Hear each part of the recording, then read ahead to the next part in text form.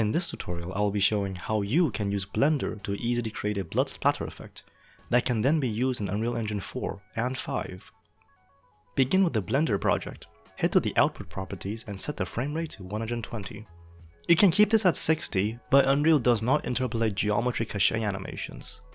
With high refresh rate monitors being more common, I prefer having those extra frames. Make an icosphere, change it to around 3 meters. Squish the icosphere so it resembles a glob of blood. Let's rename this icosphere so we don't get confused later. What we want to do is perform a fluid simulation. This consists of three parts, the geometry, which is the liquid, the domain, the area the simulation occurs in, and an outflow, where liquid exits the simulation. We'll begin by setting up the geometry. Select our blood glob object, head to the physics property, enable fluid, change the type to flow, change the flow type to liquid. To make the liquid shoot out in one direction, let's add an initial velocity of 200 meters per second on just one axis. Let's set up the domain now. Make a cube. Shape it so it roughly encompasses the area of our blood splatter.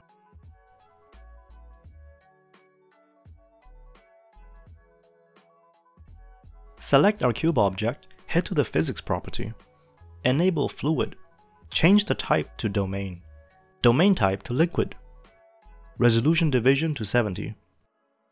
You'll likely want to adjust the resolution division as you tweak the simulation, so keep that in mind. Change the frame end time to 120 to limit our simulation to 1 second. Check the mesh checkbox. Change the cache type to all. Clicking the bake all and letting it run should already give us a result. Nice. Let's start tweaking the sim so it's closer to a blood splatter. I wanted to splash out in all directions. To do that, I'm going to duplicate the blood glob. Squish it a bit smaller.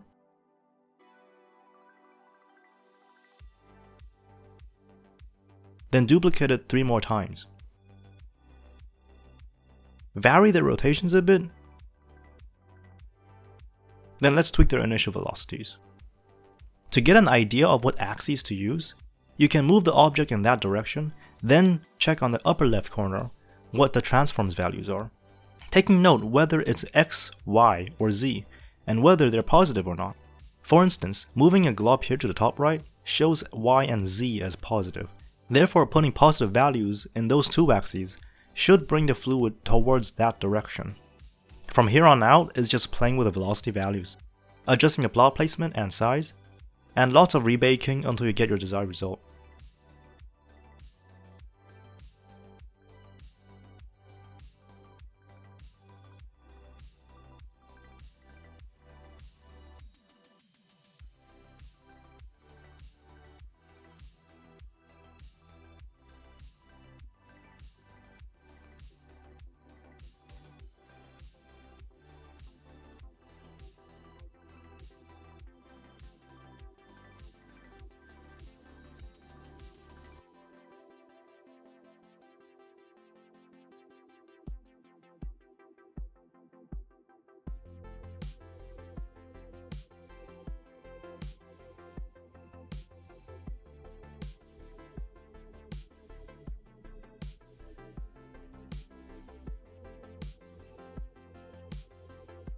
Okay, this looks good.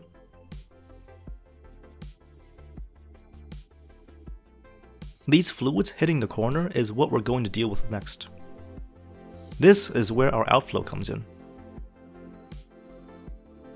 Make an icosphere.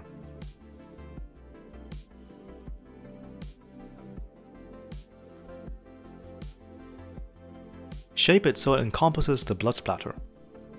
This will act as the border where the fluid disappears.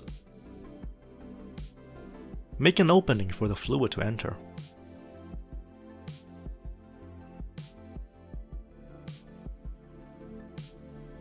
Select our icosphere, head to the physics property, enable fluid, change the type to flow, change flow type to liquid, flow behavior to outflow, unhide flow source, and check is planar. The is planar is checked as the icosphere surface has no thickness, no volume, it's just a thin flat plane, thus the check is required. Let's rebake and see.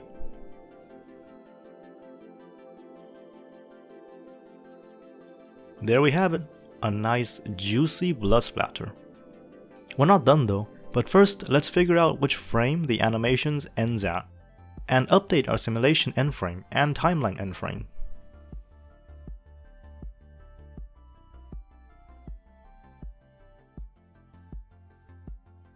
Shortening the simulation would speed up any future baking, making further tweaks less time consuming.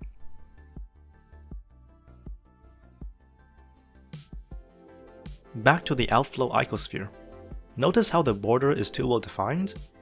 And that's because it is. Let's fix that. What we're going to do is deform the icosphere so the surface is irregular. Begin by making a lattice. Head to the object data properties and increase its subdivision to 10, 10, 10. Shape the lattice to cover the entire icosphere. Select the icosphere, head to modifiers, and add the lattice modifier.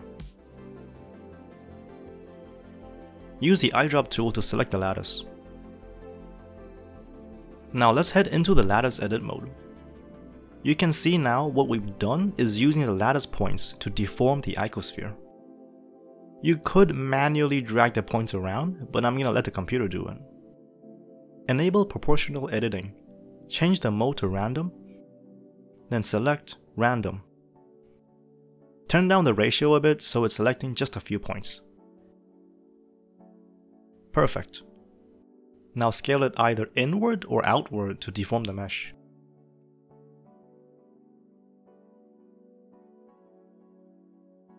Let's repeat this a couple of times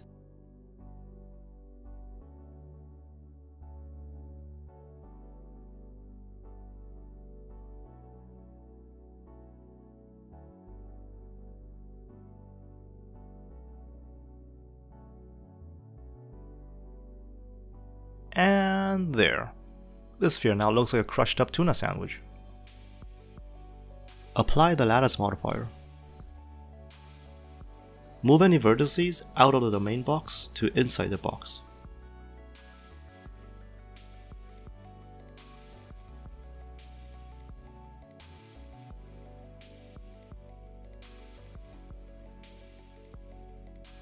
Rebake and voila! Oh yeah, you can turn on smooth shading if you like. Last step before we export, select everything and move it so at the first frame, the starting fluid is located at the center and slightly passes the midline. This way we orient the animation so it works in Unreal. Now we can export. Select our cube, which would be the box at frame 0 or the fluid itself in the animation. File, Export, Alembic Let me just uh, quickly set up a new folder and name this export. Check only selected object and export. Sweet, let's move on to Unreal. Here I have a first person template project. I've imported the Unreal Mannequin and its animation from a third person template project, so we can use it later as our test dummy. I'm gonna make a new folder called Geometry Cache to store the blood splatter assets. Drag the blood splatter Alembic file to import. Change import type to geometry cache.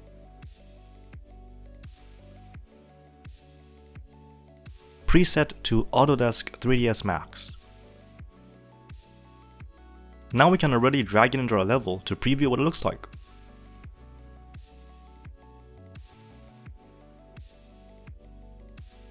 It imports without any material, so that's what we're making next.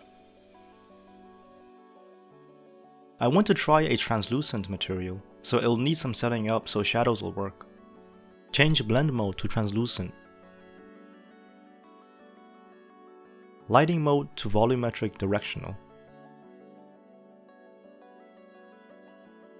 Shadow density to 2 and self shadow density scale to 0.5. You'll likely tweak these last two values depending on your need. Let's give the base color a nice deep red. Make it slightly translucent. then put a refraction value of 1.35, which is roughly what blood is in real life. Let's apply it to a preview and see what it looks like. Not bad. Now let's use some blueprint code to spawn it appropriately. Unreal Engine 5 supports geometry cache in the Niagara particle system, but in this tutorial I'll be using an actor for this effect as it'll work in both UE4 and UE5. Start by making an empty actor blueprint. Drag in our blood splatter to add it as a component. Apply the blood material.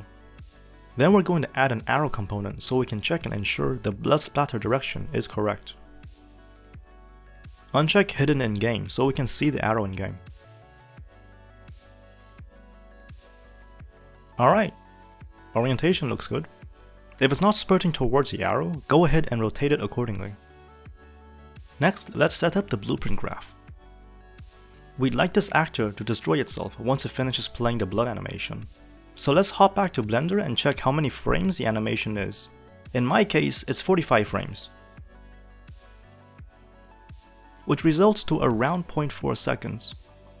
Make a delay node, put however long the animation is, then put destroy actor after. That's it for the code really. Since the material I'm using is translucent, to make shadows work, select the blood splatter component. Look for Volumetrics Translucent Shadow and check that. Then we want to disable all collision and overlap events for this mesh. Lastly, disable looping. Alright, let's set up our firing dummy. Plop down the mannequin and have it use the idle pose. Before we can shoot him however, we need to make some changes to the first person character blueprint. To keep this tutorial simple, I'll be changing out the projectile for a hit scan. So rip out the fire input and drag it to a line trace node. I want to make a straightforward trace from our eye. So drag the first person camera over and get its world location.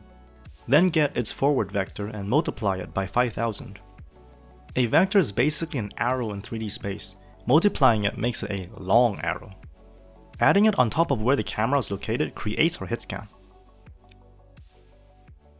I'm going to enable debugging to quickly check if the line trace is working properly. Cool. I'm gonna reuse the first person template's animation and sound cause why not?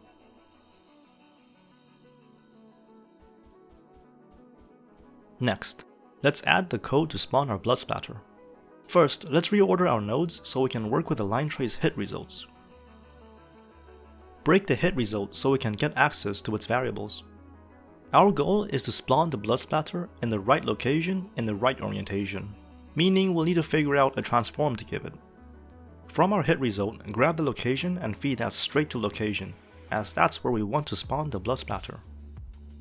Drag the impact normal into rotation, and Unreal will automatically add a conversion node for us. Thanks Unreal. The impact normal is giving us an arrow that points perpendicularly to the hit surface, which is perfect for orienting our blood splatter. With this, the effect should be working. Let's give it a save and test it. Nice! Using the visual arrows, we can say for certain it's working as expected. Let's hide the arrows now, now that we don't need anymore.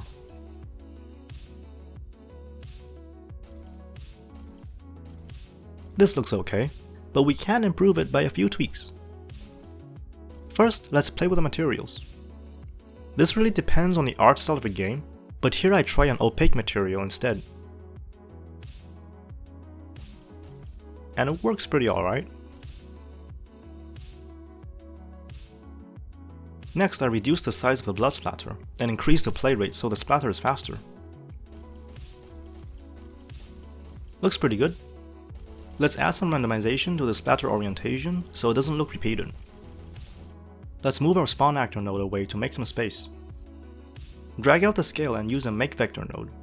Using one random float and range node, make a value to drive all x, y, and z, so the blood splatter scales uniformly. Then for rotation, we're going to intercept the converted rotation value. A vector, an arrow, inherently doesn't have any roll data, so we can actually ignore the pin and just give it a completely random value.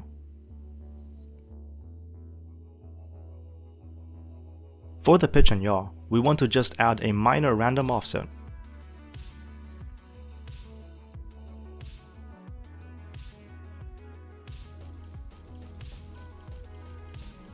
And there we have it.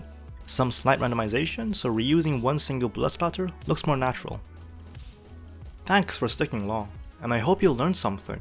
Be sure to check out my game development log, where this same method was used to make a splatter effect.